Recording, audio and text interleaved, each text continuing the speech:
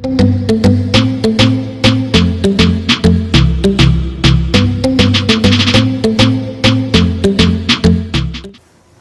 বিষয় গিরিখাত বা গর্জ।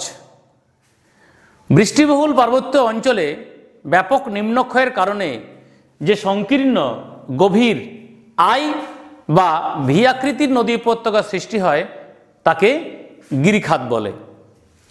কীভাবে সৃষ্টি হয়? না আর্দ্র পার্বত্য অঞ্চলে নদী উপত্যকার দুপাশে যদি ব্যাপক পরিমাণে ধৌত প্রক্রিয়া চলে, তাহলে ভূমিক্ষয়, আবহবিকার, পুঞ্জিত ক্ষয় এবং ধস এই প্রক্রিয়াগুলি চলতে থাকে। অর্থাৎ এই পদ্ধতিগুলির সাথে নিম্নক্ষয় হওয়ায় উপত্যকাটি খুব গভীর এবং সংকীর্ণ হয়ে গিরিখাত সৃষ্টি করে।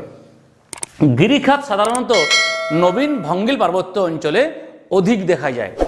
অধিক নিম্নক্ষয় এবং সামান্য পার্শ্বক্ষয়ের কারণে গিরিখাত সৃষ্টি হয়। গিরিখাত সাধারণত শিলাস্তরের ফাটল বরাবর নদীর কেন্দ্রীভূত নিম্নক্ষয়ের ফলে সৃষ্টি হয়। মন্থকূপ গঠনের মধ্য দিয়ে নদী উপত্যকা ক্রমশ গভীর হয়।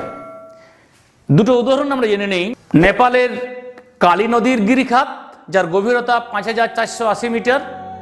চীনের ইয়াংশি নদীর ইচাং গিরিখাত। আড়াইশো কিলোমিটার দীর্ঘ।